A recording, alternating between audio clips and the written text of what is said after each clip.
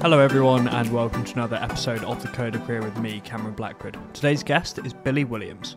Billy is the engineering manager at Otta, which, as I'm sure you'll find relevant to the show, is a recruitment platform and a new way to get a job in tech. Like myself and many listeners to the show, Billy is also a career changer. He's had a lot of different lives already, so this makes a really interesting episode into how he got into the world of software. Just before we start, I'd really like to encourage people, if they can afford it and if they really enjoy the show, to please contribute to the Patreon. We have some unique tiers and benefits uh, for people that are members, and it'd be really cool to see some people take that up. If you don't have the budget, then do just feel free to just join our Discord. Uh, it's open to everyone, and you can chat with me and other listeners of the Coder Career uh, for tips and um, ways you can advance your career. But without further ado, it's time to grab a coffee, push those commits, and enjoy my chat with Billy Williams. Hi, Billy. Thanks so much for joining me. How are you doing? Yeah, I'm good. How are you? I'm good, thanks. I'm good. Just enjoying and loving life with my new microphone, as I was saying to you offline. Um, I say offline um, when, when we weren't recording. Um, so hopefully the guests are already hearing my dulcet tones coming through, crisp and clear. Uh, so that is uh, very exciting times. And apologies to the uh, to the listeners who um, uh, who put up with the buzzing noises in the last few episodes. It won't happen again. I hope. Um, but yeah, uh, it, all, all, good over here. Um, just uh, getting um, getting stuck in uh, to uh, more podcasting after a couple of weeks off. So uh, all good. And uh, you must have been very busy recently, as we'll get on to a little bit later. Um, so for those who aren't familiar with you, do you want to explain um, about who you are, who you're working for right now, and why, why it's such an exciting time to work with them? Yeah, sure. So uh, I am Billy. I am an engineering manager here at Otta, um, and Otta is a candidate first jobs platform.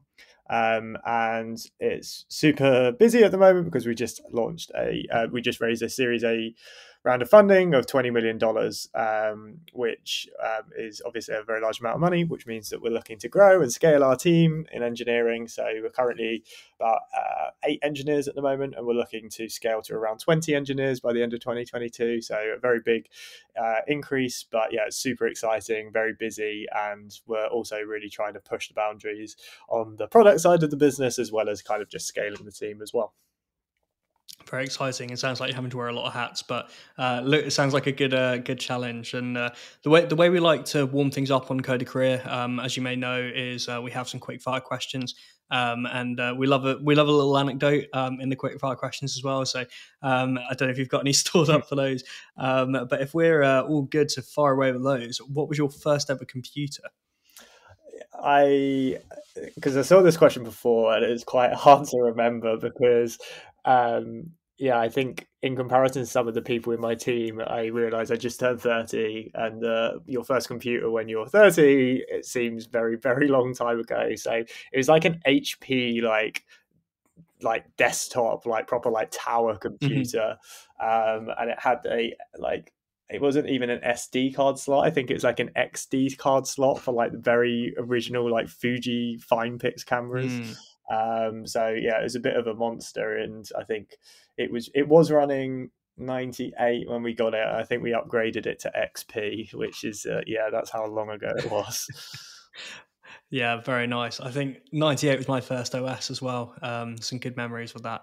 Um, well, I mean, we've had a range of computers. Like we've had people talking about computers they've had in the early 80s. And uh, Ethan, who came on um, a few months ago, his first computer was a 2014 Mac, and he got it when he was like nine. And I was like, oh no, tell me, tell me, I'm not getting old. um, but yeah, uh, I, yeah, sounds like I had a fairly similar first computer, and yeah, a lot of good memories on that. No doubt gave it countless viruses. Sorry, mum and dad. Um, but yeah, good, good yeah. memories. I think um, it's, I think it's, it was having. I mean, yeah, LimeWire. I think that that was. I was going to say LimeWire. like that. That's the one that makes you go back, and you're just like, that was that was a different time on the internet than what we have right now. Yeah, do you remember? Um, oh, what was that other one? There was a like Russian one called BearShare. Um, I used that one a few times to get music, and no doubt destroyed uh, my computer several times with that. yeah, no, I yeah, it's just it seems a, a literal lifetime ago when you think about how much everything in in technology has changed since that point where that was like the absolute like kind of like frontier of kind of like music streaming really and yeah just very very different Absolutely, yeah. The kids don't know. Uh, the kids don't know how tough we had it um, back back in the day. Uh, like you know, torrenting stuff um, compared to just having everything for ten pounds a month uh, is uh, yeah, times change. Um, speaking of tech, um, shockingly enough, seeing as this is the Coder career, um, what is your favorite tech city in the world? So it'd be very easy for me just to say London because I'm not. I don't actually live in London, but I work in London. But I actually think like a underrated city for tech was one that I visited um, back in 2018 before the pandemic, um, which is actually Denver, which is unusual as a choice, but um, situated right outside the Rockies. It's actually got like quite a burgeoning like robotics scene. Um, it's also got great craft beer, craft coffee.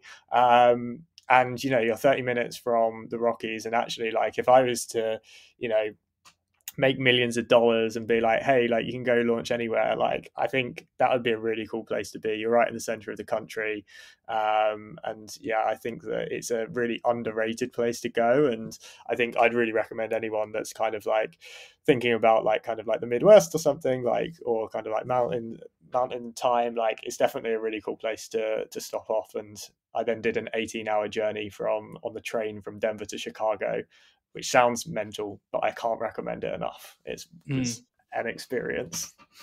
Train travel in the US is so underrated. Like I've done, um, I've done New York to Montreal, nice. um, which I think was supposed to be eight hours, but turned out being literally eighteen. Um, because uh, their train routes are very scenic, but not the most efficient. Like you know, we we spend our entire lives in Britain complaining about the trains here, but actually, yeah, you yeah. haven't seen bad railways until you go to states. But my god, they're scenic yeah, no, it's and like even like the nothingness is just insane how much of it there is as well like going through idaho and stuff like you know you just see lots of small towns and yeah it's really really great experience and um, yeah great way to see the world. Yeah we don't really um i mean a li- little bit we do a little bit up here in scotland have the wilderness but like nothing like compared to the states like and down, down in england really. Um you know it's, it's such it's actually the, the population is so dense um, that you uh, uh, that that you don't really get the huge patches of wilderness like the US has, and yeah, I I, I love that, and uh, yeah, somewhere that I'd um, yeah I'd love to take trains uh, from coast to coast uh, in the states at some point. Um, yeah, might, might have to book a few weeks off. Yeah, I'm planning on doing another one in August. Uh, my partner is doing a PhD based in uh, New England, oh, cool. Maine. So I think we're going to be doing a bit of train travel again. So yeah, my favorite one, my, my goal one, is to do Chicago to New Orleans via like Memphis and uh, a bunch of other places. That one's kind of like bucket list one because there's just so many great stops on that down the Mississippi. So yeah, I can imagine that. Uh, that sounds awesome. Um, that yeah, that's uh, sort of giving me an idea on my bucket list as well. um, I'd love to do that, and I'd love to go to New Orleans um, as as well. But yeah, it's an interesting answer, Denver, because um, we've had a few American cities on here. I think we've had uh, we've had San Francisco, obviously. Um, we've had Miami.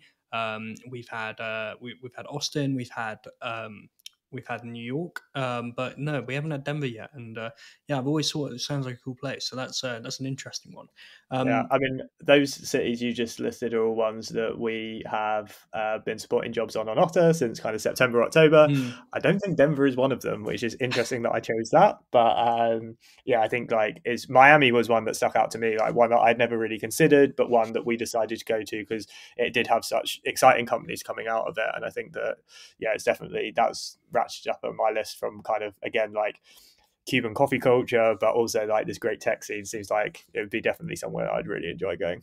I'd love to go to Miami, but I'd need the SPF 50. Um, I, I, really don't know how I'd go. Like even Edinburgh can be too hot for me sometimes. Um, so yeah, that uh, yeah, I would love to try that out. And I've heard the uh, I've heard the tech scene there is, is unreal. Um, so that sounds uh, sounds really cool. And um, when you are uh, when, when you are coding um, slash working, what kind of music do you like to listen to? Yeah, I I definitely listen to music and not podcasts. That's definitely like one thing. Like I, I tried podcasts for a little while and I just fa- found it, especially as I moved into management, I found it so hard to engage with. Found it a little bit easier when I was younger. Um, but so it's probably, I do like kind of old school 90s hip hop.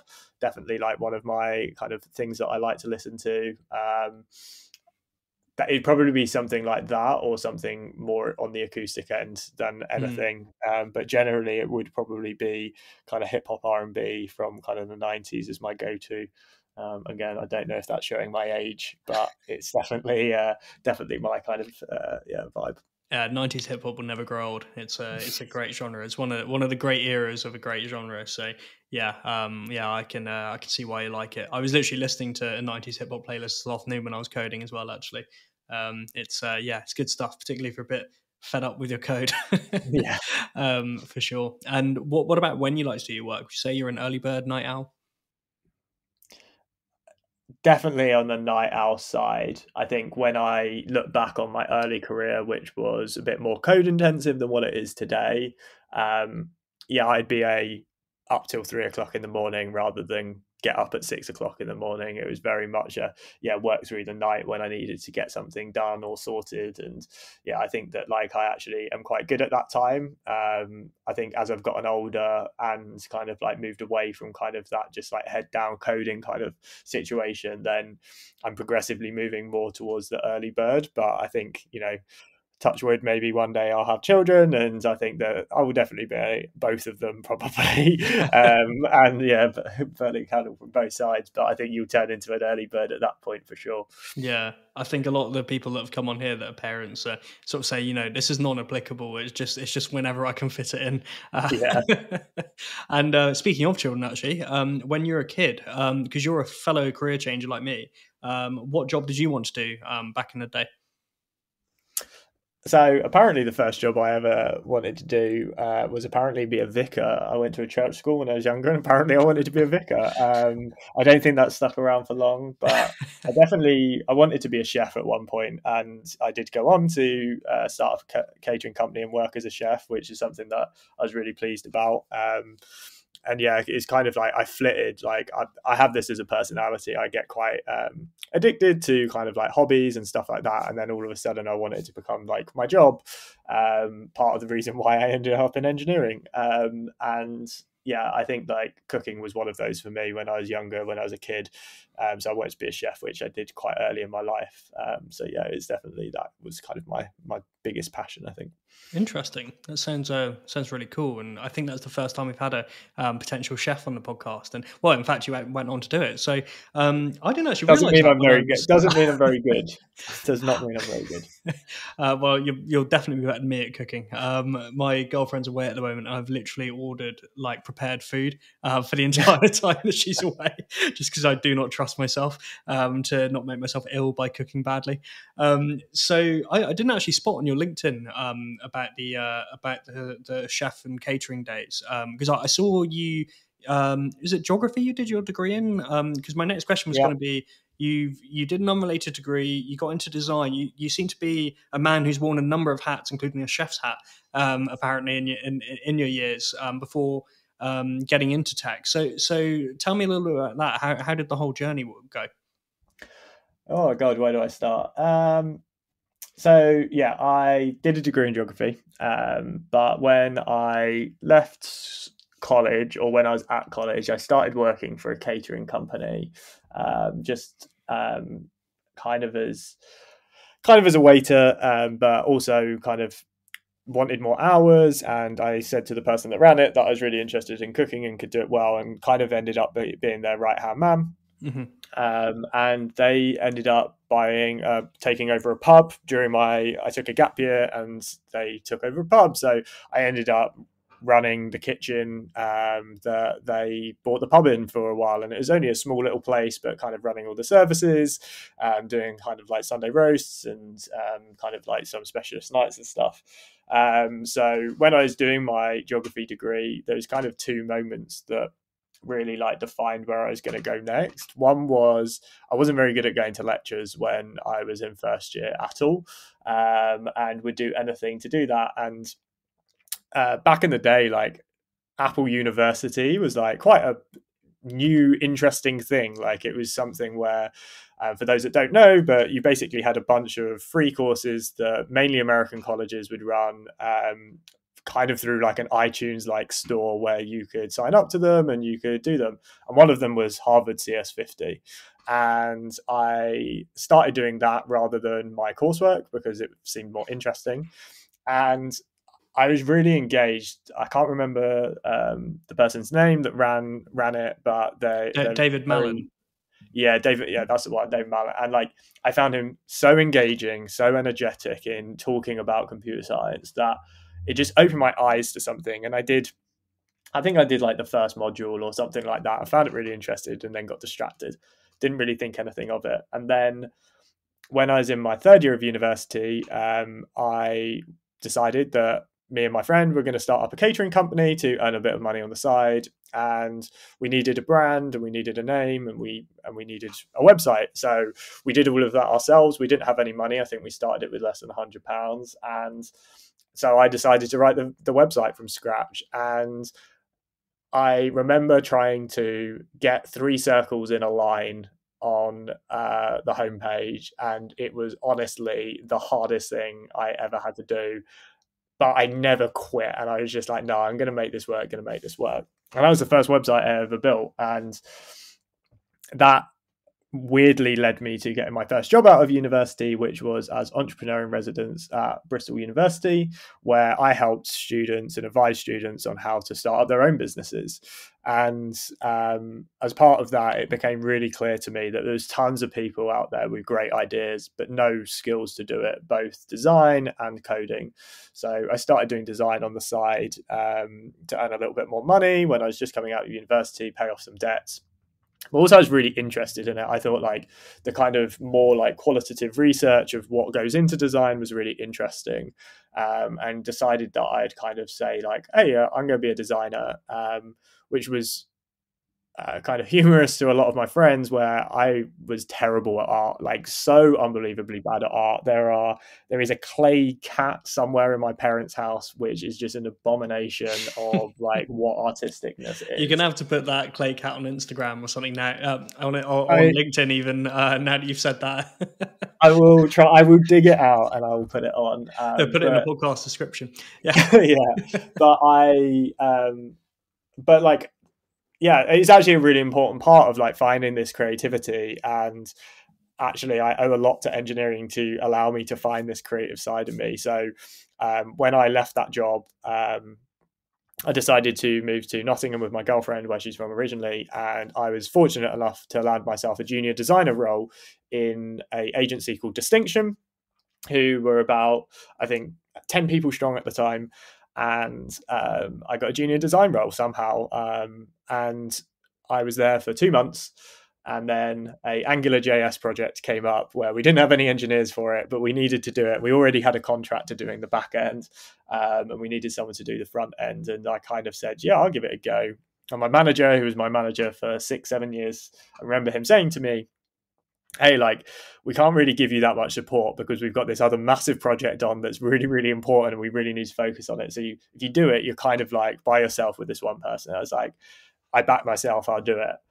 And I never looked back from that point, really. Like, it just took me, and all of a sudden, my weekends and evenings and nights were just filled with learning how to code. And I became addicted to learning how to code and to get better at it and to immerse myself in it. Um, so that's kind of how I how I ended up there. I think when I then look back, my geography de- degree did have a coding unit in it in a language called R. I didn't really realize at the time that that was actually teaching me a lot of fundamentals about JavaScript. So, what is a loop, for example? I kind of knew what a loop was straight away. I had to have a, a bit of a refresher, but I was like, oh, okay, I've kind of done this before. And it's just like this module that I hadn't thought about twice since I did it. It was like very much did it. The lectures were really boring, but I was okay as a module as as things went.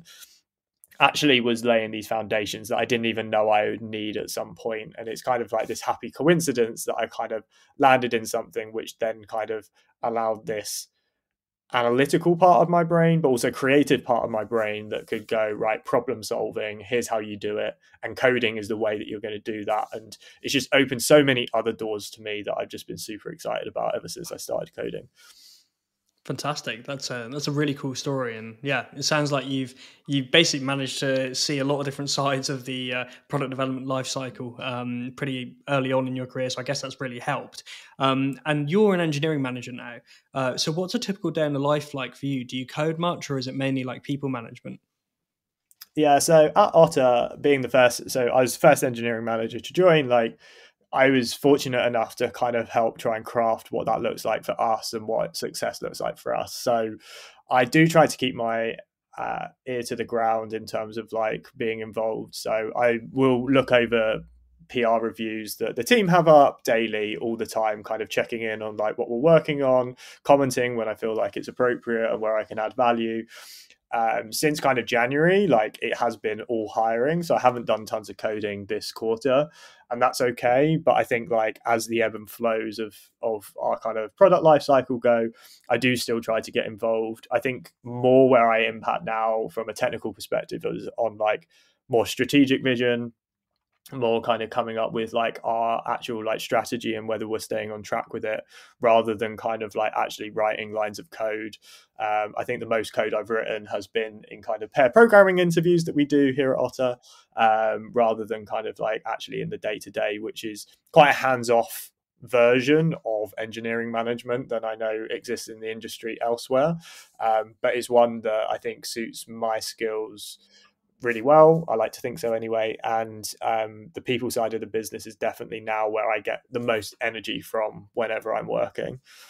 Yeah, uh, that that makes a lot of sense, and I I, I reckon I see myself going down the same uh, line eventually as well. It, uh, I can see how much value you can get out of helping other people be the best they can be. So that sounds uh, that sounds really cool. And um, obviously, um, it took a lot of work to get to the point where you're uh, able to manage people. And how have you been able to effectively upskill throughout your career? Is there any strategies you'd recommend? Because um, as I'm sure you'll be humble about it, you did advance very quickly, uh, as anyone can see from your LinkedIn.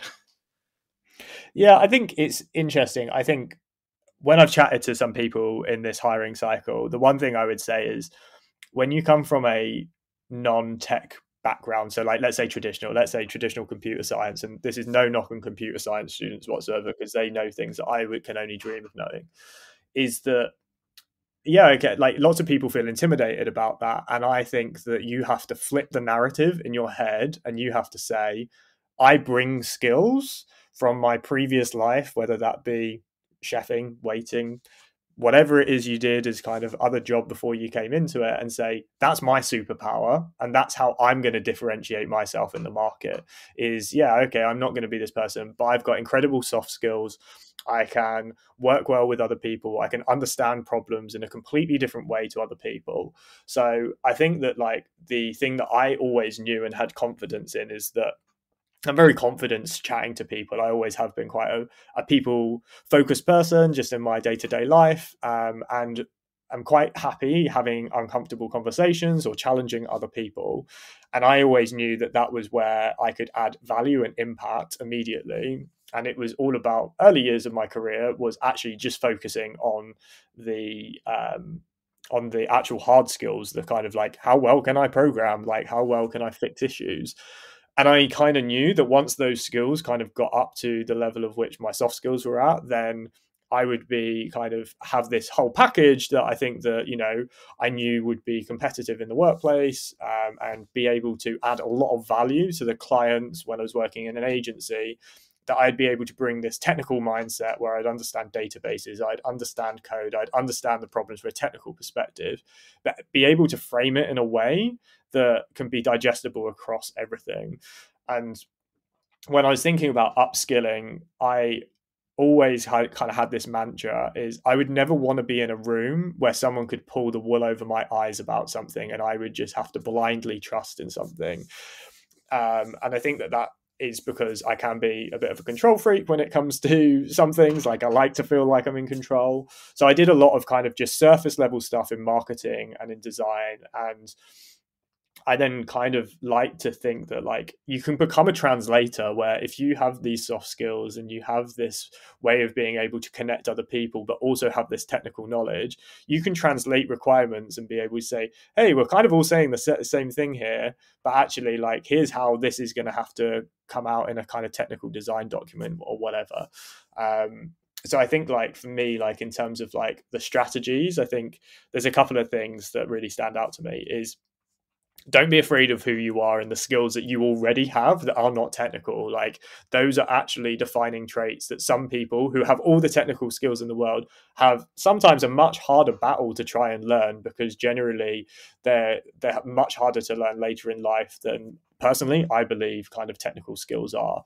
Um, I think the second one is like, you know, it does take a lot of work to be a programmer like and actually learning to code is actually really challenging. And there were many nights staying up till three o'clock in the morning learning how to code and you don't have to do that but like you have to make a commitment that actually like coding is a real language the same way that learning french is a real language like you have to learn. And that's not about to clarify that's not about javascript or python or anything. It's understanding programming and software engineering and I think that leads me on to my last point, which is think about software programming don't think about languages. Because i think like if you can be technology agnostic where you can just be a problem solver by thinking about technical problems a loop is a loop and it doesn't matter whether you write that in python or whether you write that in javascript like we have we have a take home task for our jobs here at Otta, and we anyone can write in any language they want, and we see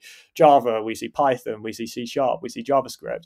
I'm not an expert in all of those languages, but well written code in any of those languages, you should be able to figure out pretty much what each of those things are doing because they're all equitable to between one another. They have strengths, they have weaknesses, but actually, if you're a good kind of solid fundamental programmer, that is so competitive in comparison to being like, I know everything in C sharp, but like you take yourself out of that paradigm, like, oh, like I don't really know what I'm doing. Like, I, I personally have tried to spend a lot of my time thinking about like what are those fundamentals that apply across all languages that then allow me to have those conversations at a high level.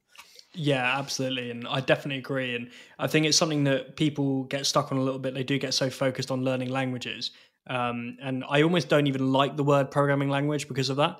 Um, I, I, think learning to code is a language, like you say, it's a way of um, how you think about things. Like the average person on the street doesn't think about how to write a loop, um, but uh, you know, a JavaScript developer and a C Sharp developer and a Golang developer um, will all think about that.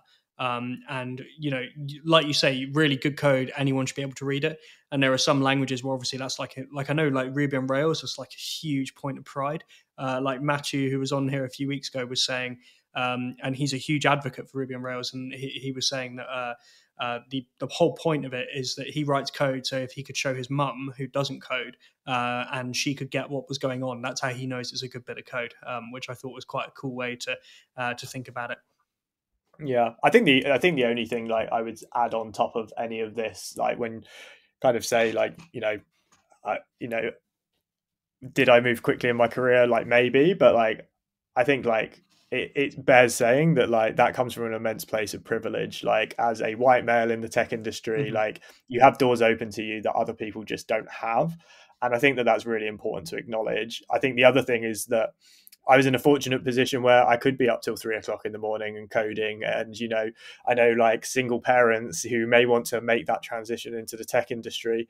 How do you get that time to do that? That's really, really challenging. And I think that we have a lot to do in the pe- as the people who are already in the industry to think about how we can break down some of those barriers mm-hmm. to lessen that barrier to entry for people so that it doesn't take your kind of like white male 20 year old who can kind of throw a lot of hours at it a lot of work at it and they're the ones that manage to get successful is actually that to me is you know very good for myself as a self complete selfish kind of train of thought but actually as an industry i think we should also be challenging that and saying like hey would that have also been possible for other people mm-hmm. and it's something that when i think about otta and like how we're trying to build our engineering team i'm definitely constantly trying to think about like hey how would we enable people from all different backgrounds to be able to come in and be successful in different ways Yeah, it's hard work to get to total meritocracy, but it's it's a um, journey that's worth um, putting in the work towards for sure. And I was talking about this on a live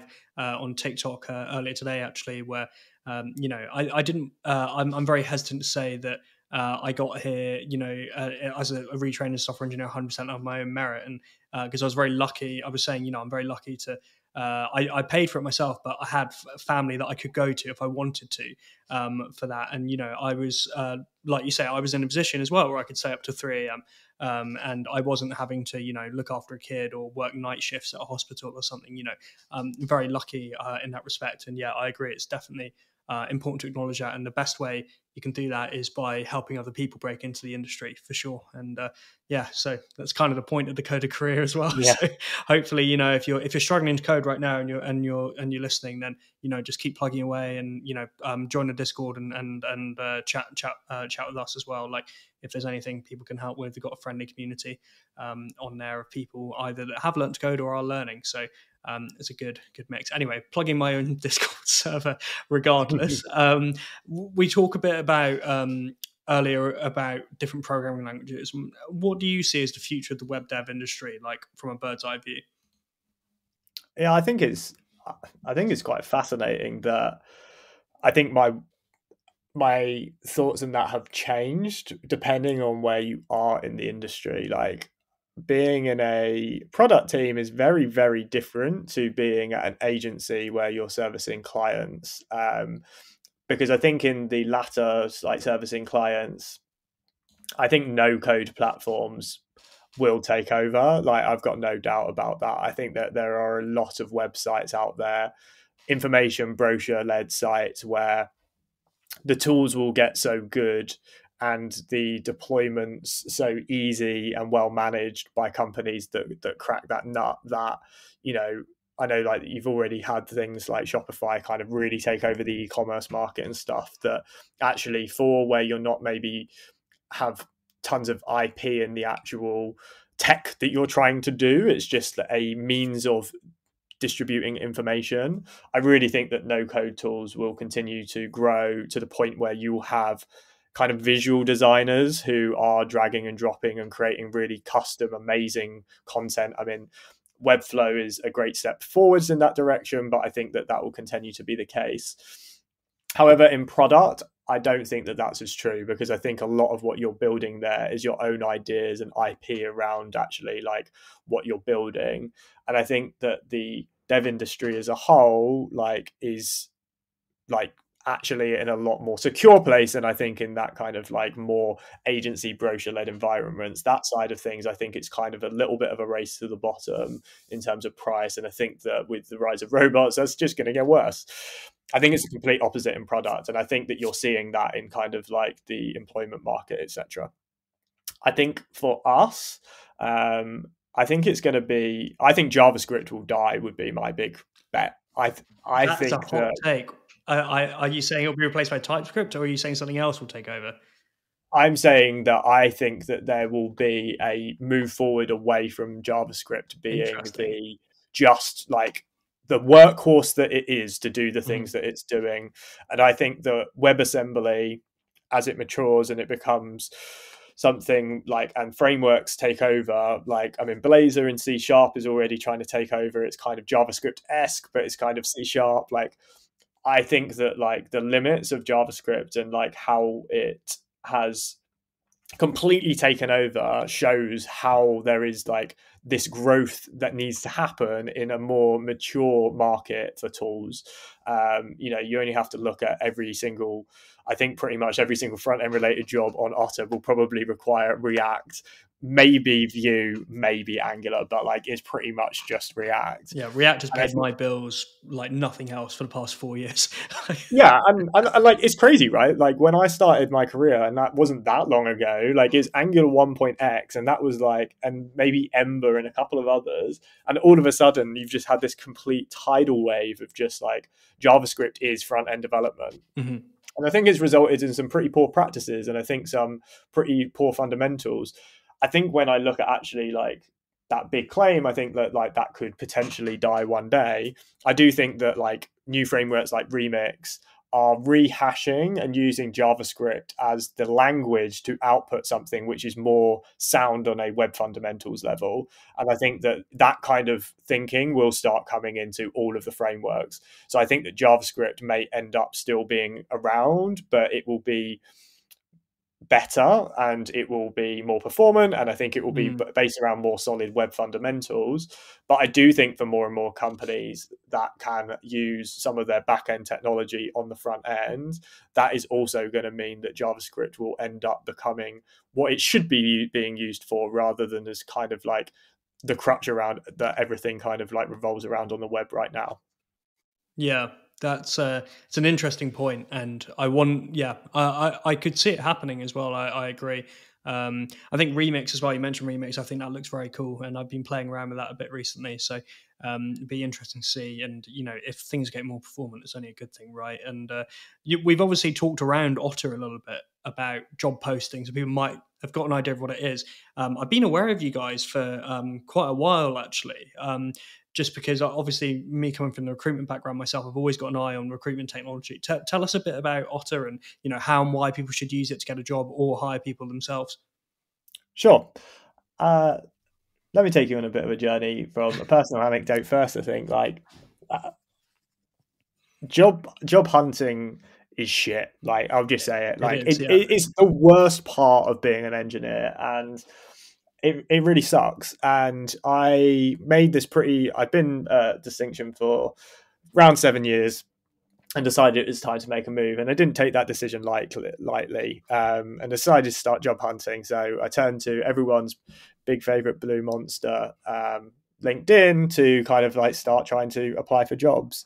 Um, and I didn't have any success. I, you know, I was, it was a complete failure. I didn't manage to land a single response from anyone but Monzo, which it was absolutely shocking that it came from Monzo. But I didn't even have a response from anyone.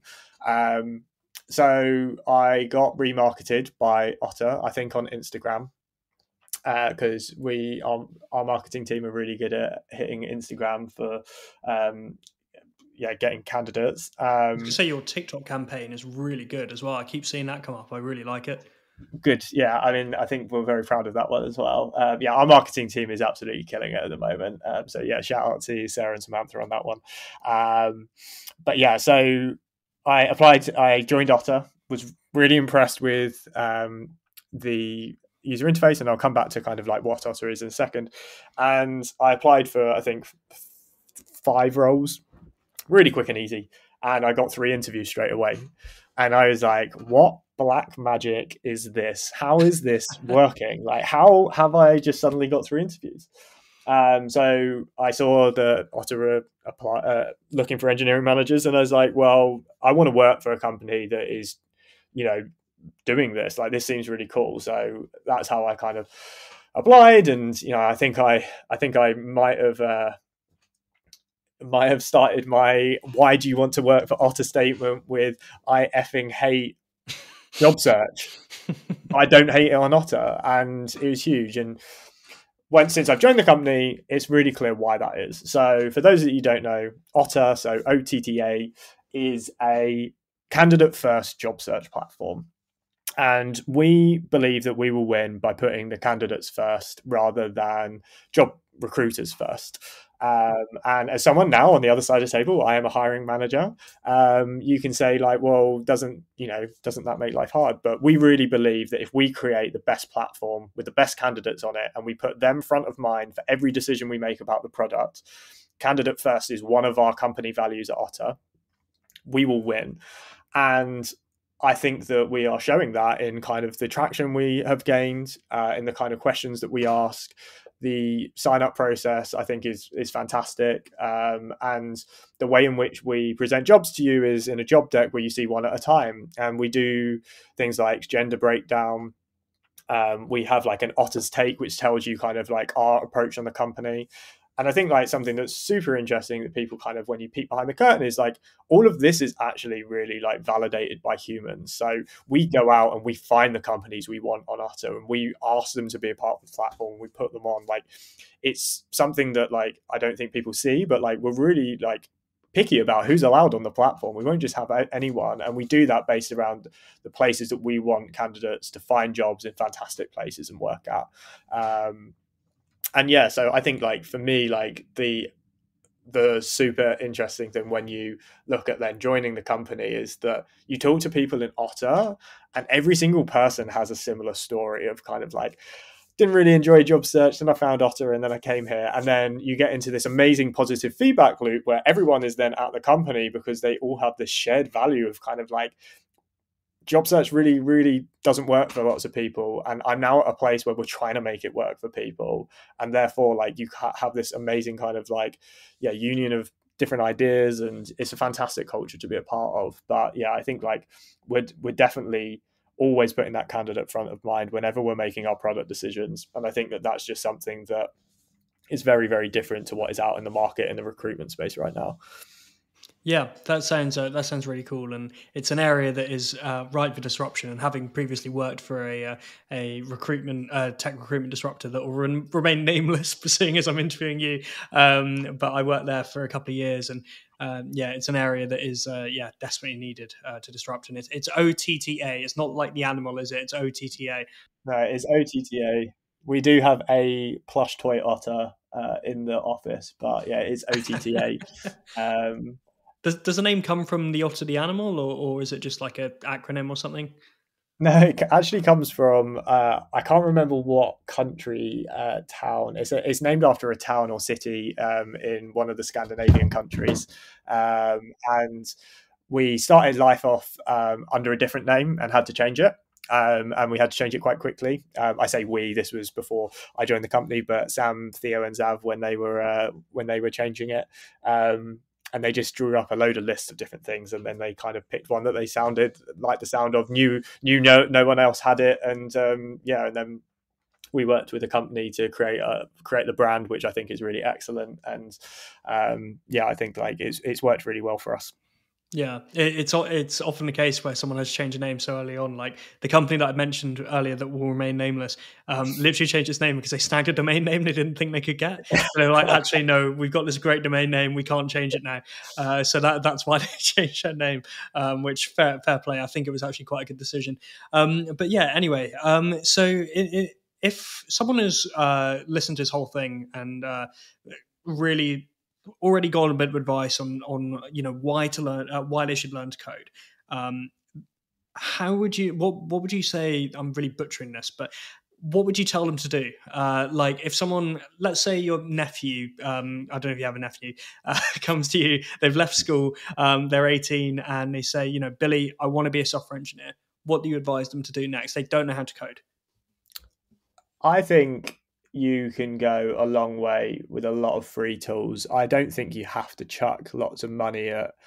I think bootcamps are fantastic, and I think they're a great way of entering the market. I think that they they can be very very expensive, and I think that actually like you can get a long way to get teach yourself some really basic skills with some fantastic free courses. I mean, you only have to use YouTube to learn anything. Like that's a motto in life that drives, I think, my partner crazy when I'm doing weird DIY things. But like, I think it's true of coding as well. Like you can learn lots and lots of stuff just through kind of like free materials. So I think that like for people that really haven't picked up anything, like I always think that like you can kind of get quite a long way for free and work out whether you really enjoy it. Like are there things that you're getting energy from from this experience before maybe looking at like a boot camp or something like that if that's what you want to do? Um, but i think like kind of removing yourself from that is something that I wish I had done more in my career is go out and find mentors. Like approach people like myself. I imagine like yourself Cam like approach people and say like hey like I'm really interested in this but I don't really know how to navigate the industry. I don't mm. understand some of this stuff. Is reach out to people. I think you'd be so surprised at how warm people would be to helping others. People are remarkably friendly uh, I was yeah. one of the quotes when I worked in uh, the work, uh, the job I enjoyed least in my life was working for a recruitment agency, and uh, I remember one of them saying to me when he was describing what Stack Overflow was, and I quote, he goes, "Yeah, developers like helping each other; they're really weird." Said without irony. yeah, and I, th- I think it's true. Like, I think like I think the thing is, is in software engineering, and I, I think it's true in other industries, but hard for me to say, is like you really rely on the first people that you work with to help teach you the ropes and show you things and to do that. Like I owe a lot of my career to to Dean. Um, he he was the contractor I worked on the project that I said earlier in the podcast, and like he really taught me like the fundamentals of being a good programmer. And when someone has given that up to you for free as part of like your work you kind of feel like you need to pay it forwards and i think that there are so many people out there and i don't think i i probably still don't take advantage of this enough of reaching out to other engineering managers for advice and mentorship like i think it can be really intimidating but what I'd encourage anyone that wants to get involved is, you know, reach out to people and you'd be so surprised at how how warm they are to help you do that and give you really specific pieces of advice. Like, you know, if you're like, hey, like, I don't know if I want to spend 15 pounds on this Udemy course, is like looking through it and going like, hey, like, uh, yeah, like I would do that for anyone. Is like, you know, like a little bit of a keen eye on kind of like, do you think this would be any good? And I don't think I'm unique in that perspective whatsoever. So I think like if you see companies you admire, reach out to them and like they can become your champions. They can give you that pep talk when you're when you're down about the fact that you've applied for maybe 10 jobs and not heard back, back from anything and they can work on you when you get interview feedback they can give you advice and say hey like yeah that's probably really good advice like here's how i would go about improving myself in those kind of ways because they're just your potentially your cheat code to learning about things that otherwise if you're just by yourself it's going to be a lot longer for you to learn that and you can do it and you can do it well. But like you could lean into other people as well and i think that that's just something that everyone should take more advantage of than i think than what they do right now. I would encourage any experienced engineers uh, that are listening right now to at least mentor one person if you can uh, just because you, you, don't even know what a difference that can make in someone's life um, if you have a good mentor like uh, um, someone who I would consider my mentor. He he works at um, Meta uh, now, and you know I, I never would have broken into the industry had I not had a chance meeting with him when I was a recruiter. So um, you know it, it, it, helps so much to have a have a um, have a great mentor um, for for sure, absolutely. And uh, yeah, I mean I, I, guess that's kind of roughly going towards the end now. But I, I wanted to uh, first off thank you for coming on. It's been really insightful. Um, thank you for having me well, it's uh, yeah, it's been an absolute pleasure. And um, so, so for people who want to know a bit more about Otta, either to get a job through Otta or to get a job with Otta, um, what what's the best way they can go about that, especially if they want to work for you directly? So, if you want to work for us directly, um, you should sign up to Otta anyway, because if in case it doesn't work out, there are lots of fantastic jobs, especially for software engineers on Otta. Um, but if you if you you can re- reach out directly to me on LinkedIn, um, which obviously you'll be able to find in the podcast description. Um, and yeah, or and I'm just willing to have like a, a chat with you, like just informal chat, what you're looking for, what we're kind of offering, and what our what our kind of plan is, and kind of walk you through our kind of application process um, is the best way. But you can also just sign up on um, otta.com um, and that will give you kind of like the the pro you know the opportunity to set up your profile and then you'll be able to see jobs and um, provided you're looking for software engineering um, within our salary bands um, which i imagine you would be if you are a entry level programmer then um, you're likely to get given the Otta job at some point provided you say that you don't hate recruitment. Cool, that sounds good. And also, as well, if people have friends and family that aren't engineers but are looking for other types of jobs, you you offer those as well, don't you, on the uh, uh, on the platform? Yeah, so yeah, that's it's a good point. So it's actually um, like any tech industry jobs, but they're they're kind of companies in the tech industry. So we do mm-hmm. have jobs for marketers uh, in HR, people directors, positions like that. So it's very much like, do you want to break into the technology space? And obviously, you know, every technology company will need like a finance director or something like that as well. So there's lots and lots of different skill uh, skills and jobs available on Otta. Actually, like software engineering is only like a small part of what we service.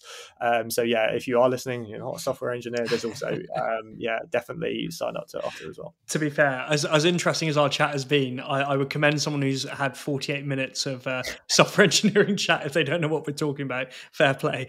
Um, but yeah, de- definitely for anyone who's got like friends and family that aren't coders but want to get a job in the tech industry, because I've seen your platform. It's super easy to use. Your uh, and uh, the UX is awesome. So um, yeah, it's really cool. I definitely recommend um, people check it out for sure. But yeah, thank you again for coming on today. Um, it's been really insightful and interesting, and uh, to hear how much you've accomplished in in uh, your. Uh, you were saying how old you felt earlier on, but you're not that old. Come on. No, I know. I think, yeah, I think like it's it's just been amazing. Like I think you know, I mean, my my engineering team is absolutely phenomenal. Like they are so talented and you know, I look at the age of some of them and what they're already achieving, and like it does just make you look back on the fact. You know, one of the girls in my team, she's graduating today, and kind of like, oh, that feels a long, long time ago because that was before I even started coding. So you know, it feels like I shouldn't have eight years of coding behind me, but um, yeah, that's what time does, I guess oh time, especially in the last couple of years. But less said about COVID, the better. We've managed to go this long. I was going to say we managed to avoid it for forever yeah, it's the law of the law of 2020 to 2022. The the the c word has to come up. Uh, COVID, not the other one, uh, at some point during any discussion. Anyway, before I accidentally drop any bad words, thank you again, Billy. It's been uh, great to speak with you, and uh, it's been a really awesome episode. And thank you as well, all the listeners, for checking out another episode of the Coder Career. Um, I hope you have a great week. And in the meantime, if you uh, want some more fix of TCC content, check us out on TikTok and join our Discord server. Have a great week.